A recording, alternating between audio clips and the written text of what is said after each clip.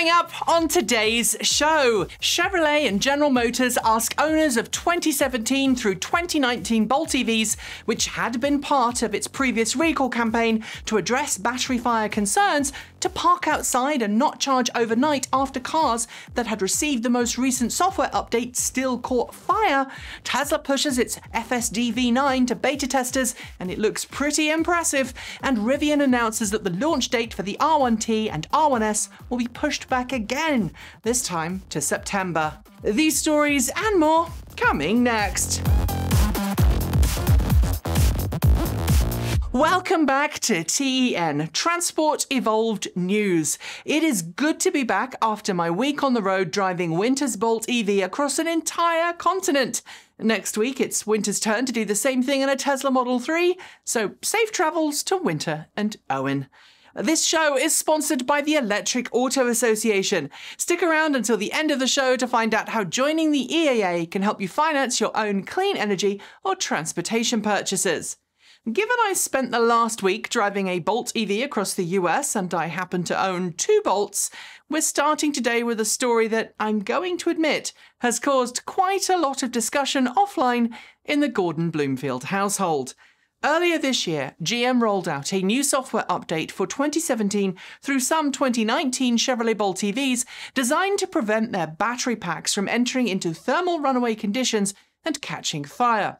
However, after two Bolt EVs, one belonging to a Vermont politician, caught fire after having the software update applied, GM is now asking owners to not park indoors and to not leave their cars charging overnight out of, quote, an abundance of caution.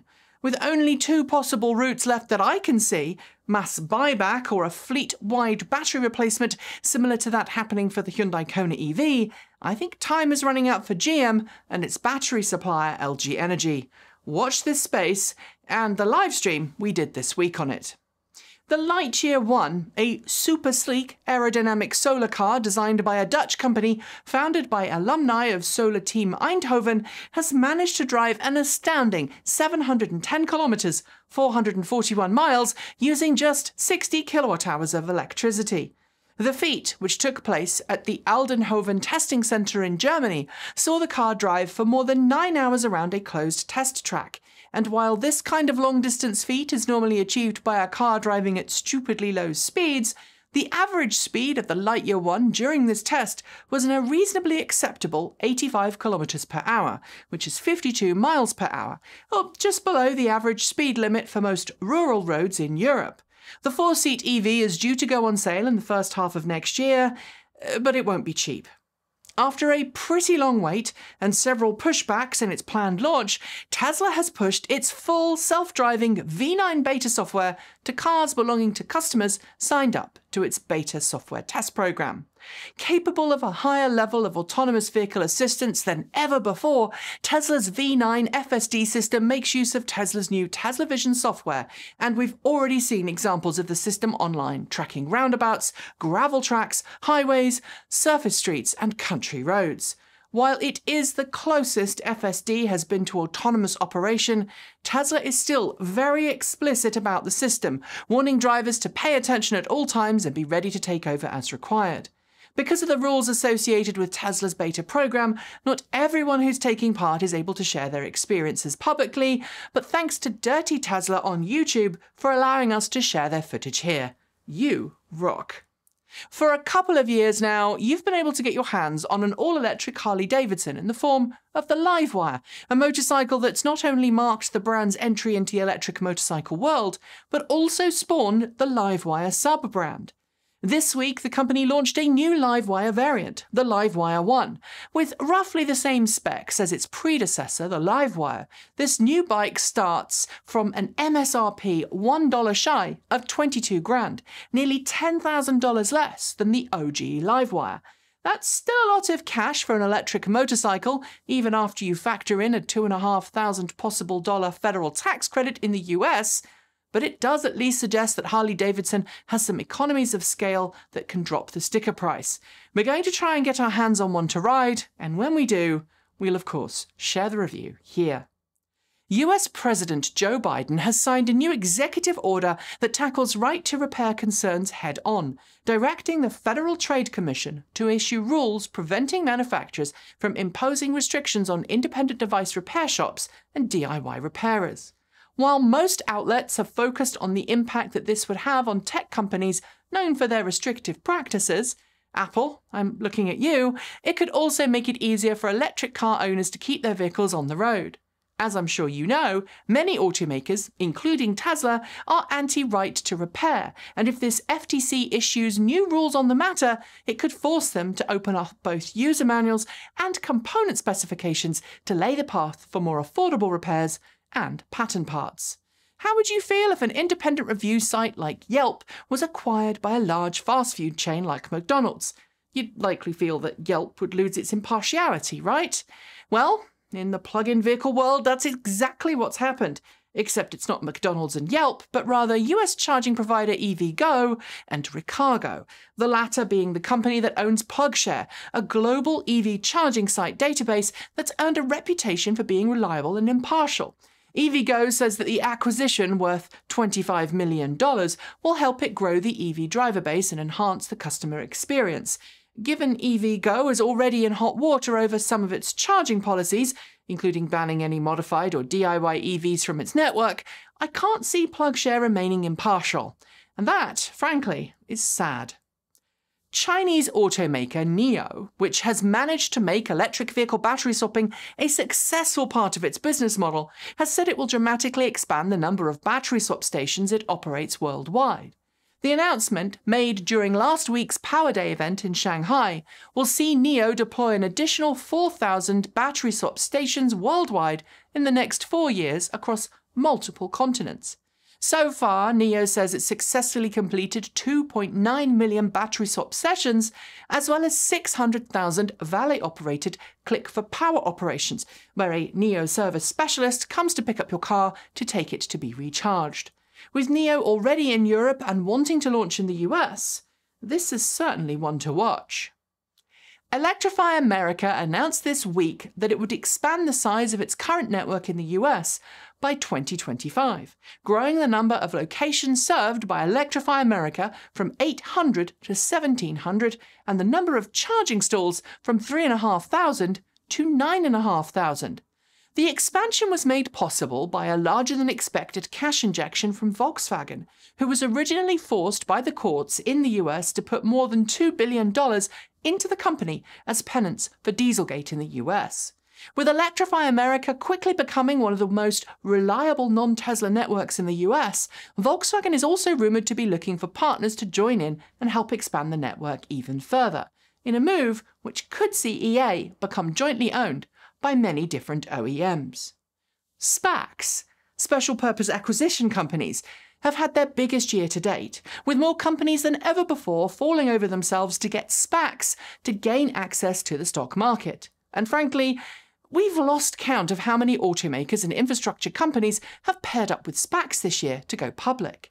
Now, though, there's a new one to add to the list Aurora, an autonomous vehicle startup founded by former Google self driving expert Chris Urmson. The company is set to merge with Reinvent Technology Partners in a deal that's worth 2.5 billion US dollars in cash, and it will see Aurora gain extra investment to help it bring its autonomous vehicles to market. Right now, it has partnerships with Toyota, Uber, Volvo, and PACCAR. At the start of this year, we were all hopeful that Rivian would begin deliveries of its R1T electric pickup this June. But that launch was pushed back to July, with the launch of the R1S electric SUV scheduled to happen a few weeks later, sometime in August, we've been curious if it would happen. This week, however, we learned that Rivian has pushed its launch plans back a little further, with initial deliveries of the R1T due to take place in September. Although frustrating for any reservation holder, especially those who paid extra for a launch edition vehicle, it's worth noting that this delay is being blamed on the current semiconductor shortage, something that also pushed back the Canadian launch of the ID4. It's frustrating for sure, but at least it's not a huge delay. And now it's time for short shorts. During a court appearance defending his role in Tesla's acquisition of SolarCity in 2016, Elon Musk has confirmed that Tesla Powerwall demand far exceeds supply. Right now, he says it has 80,000 orders for units, but can't make more than 35,000 this year due to chip shortages. The Port of San Diego and Crowley Maritime Corporation have announced the port will soon be home to an all electric tugboat called the Crowley E. Wolf. It will offer 70 tons of bollard pull and go into service by mid 2023. Audi has confirmed that the first car to be produced under its mysterious all electric Project Artemis will be revealed at the IAA 2021 in Frankfurt this September. Audi says Project Artemis will help shape the brand's transition to zero emissions. Tesla has yet again increased pricings for its vehicles. This time it's the long range versions of the new Tesla Model S and Tesla Model X, both of which get a $5,000 price hike. You now have to pay shy of 85 grand to get a Model S. The European Union has proposed an effective ban on all new fossil fuel car sales from 2035 onwards by imposing a 100% cut in CO2 emissions from new vehicles by the same date. Competition is hotting up as multiple different battery suppliers, including Samsung SDI and LG Energy, line up to become battery cell suppliers and partners to Tesla. Both companies have already begun building 4680 format cells in order to court Tesla. Volkswagen has announced a brand new strategy for the future of the brand that will further consolidate its electric vehicle development into a single platform called the Scalable Systems Platform, or SSP for short. It wants to then sell that platform to rival automakers. Ford has announced that it is working to address reported issues with the Mustang Mach E overheating from high power regenerative braking after multiple Norwegian Mach E owners reported their cars became inoperable after descending this, the famous and steep Eagle Road in Norway. Lucid has announced details of its new mobile service program ahead of the official launch of the Air sedan later this year. Like Tesla's mobile service rangers, Lucid hopes that the majority of its service activity can happen remotely at locations that are convenient to its customers. Tier 1 parts supplier Bosch has unveiled a brand new continuously variable transmission for electric vehicles. This electronically controlled CVT is a long way from the DAF variomatics of old and says Bosch could improve performance and efficiency. Volkswagen has already committed to building six new gigafactories to produce battery cells for its upcoming range of electric vehicles, two of which have already begun construction. But now the company has announced a new one is about to begin construction in Spain. Zero Motorcycles has revealed the FXE Electric, a new highway capable two wheeler designed for commuters. Sharing some of the DNA with the FX, the FXE is designed to be sleek, sophisticated, and affordable, with a sub $12,000 price tag. Mercedes Benz is recalling its EQC electric SUV in parts of Europe after it was discovered that some vehicles may have an incorrectly sealed battery box. This can lead to additional moisture entering into the pack and causing corrosion, which leads to battery failures. GM has announced an expansion to its Ultium Charge 360 service that will see it launch a fleet charging service designed to help fleet customers make the transition to electric. It will offer fleet and facility management tools based on GM's OnStar. The world's first all metal 3D printed bridge has opened in Amsterdam. While I know this isn't technically transportation, especially as it's a pedestrian bridge, 3D printing technology could help many countries, including the US, quickly upgrade aging infrastructure. GM says it will source the lithium it uses for its Ultium based battery systems from the US using closed loop processes and direct extractions that it says will result in a lower carbon dioxide emissions. It's going to use lithium for the Salton Sea geothermal field in California. It's official, the next 007 film, No Time to Die, will feature James Bond driving the upcoming Aston Martin Valhalla. It's a plug-in hybrid with a V8 and twin electric motors, and is a looker, but really it is time to go all electric, Aston. BYD, the Chinese company that's helping to revolutionize the electric bus market in the US, is fighting a 2020 law that means, due to Chinese parent company, it can't get a cut of the billions of dollars of money available to help electrify the US fleet. Its workforce, fully unionized, could help bargain for a change of rules. Hyundai is about to begin testing a level 4 autonomous shuttle bus service in Sejong Smart City of South Korea. Called the Robo Shuttle, it will operate along a 6.1 kilometer 3.8 mile route. A chain of filling stations in the US South is pushing regulators to change the rules concerning electricity pricing so that they can make a profit on electric car charging stations. Right now, Race RaceTrac Petroleum says it can't sell electrons for more than it buys them. Greenland has acted to suspend all oil exploration in its seas. At the moment, there are no active oil or gas fields in its waters, but the waters around Greenland are believed to contain 17.5 billion barrels of crude oil. Greenland says it takes the climate crisis seriously. Well done, Greenland. As the Tesla Cybertruck heads towards production, Elon Musk has confirmed how the Cybertruck's doors will operate. When it was first launched, it had hidden door handles, but now Musk confirms it will have none. Instead, the doors will automatically open, just like they do for Model S and X. As part of its appearance at the Goodwood Festival of Speed this week, Ford unveiled what it's called the Mustang Mach E O GT, a fragrance designed for Mustang Mach E GT fans who miss the smell of petrol. Yes, it was just a marketing gag. No, it's not entering into production. And those are your short shorts. There will be more next week.